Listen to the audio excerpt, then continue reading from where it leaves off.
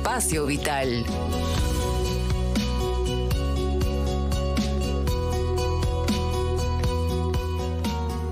Y atención con la información que nos trae hoy lunes 15 de mayo el doctor Elmer Huerta, a quien le damos los buenos días y la bienvenida, porque los adolescentes con sobrepeso tienen más probabilidades de ser hombres infértiles. Doctor, buen día. Eh, buenos días, Joana. Omar, buenos días. Buenos días también a todas las regiones de nuestro país y a todos nuestros oyentes. A ver, este, Joana, sí, lo has dicho muy bien en la presentación. Este es un artículo que sale publicado en la revista europea de endocrinología de esta semana. Eh, el hecho es el siguiente.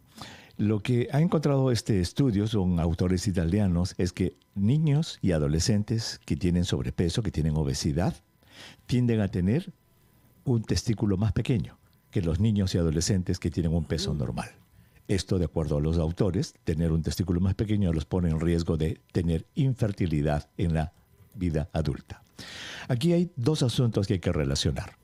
Por un lado, es que la prevalencia de la obesidad infantil ha aumentado en todo el mundo en los últimos 30 años. Ha pasado de 32 a 42 millones y sigue subiendo. Niños y adolescentes que se están volviendo gordos en todo el mundo, incluido el Perú. Y se estima que alrededor del 60% de estos de los niños que están viviendo hoy van a ser obesos cuando tengan 35 años. Ese es un asunto. Por otro lado, lo que se ha visto es algo que también hemos comentado aquí en Espacio Vital en alguna oportunidad, es de que hay una disminución en el recuento de espermatozoides a nivel mundial este, en, diversos grupos. Progresivamente, en los últimos 50 años, 40 años, ha ido disminuyendo el número de espermatozoides en el semen de los varones. Entonces, los autores dicen, ¿habrá alguna relación entre estos dos eventos? ¿Habrá alguna relación entre que la gente, los muchachos, están engordando y esta disminución en los contagios de espermatozoides? Y para responder a esta pregunta, lo que hicieron fue recopilar datos en 268 niños en Italia y les midieron el volumen o tamaño testicular a todos y obviamente les tomaron su índice de masa corporal para saber si es que tenían obesidad o no.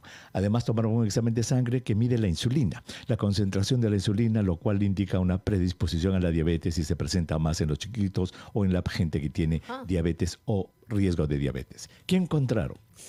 Aquellos adolescentes y niños que tuvieron un peso normal tuvieron un testículo una vez y medio más pequeño que el de niños, eh, perdón, más grande que el de niños con sobrepeso y obesidad. O sea, los niños con sobrepeso y obesidad tuvieron un testículo una vez y media más pequeña.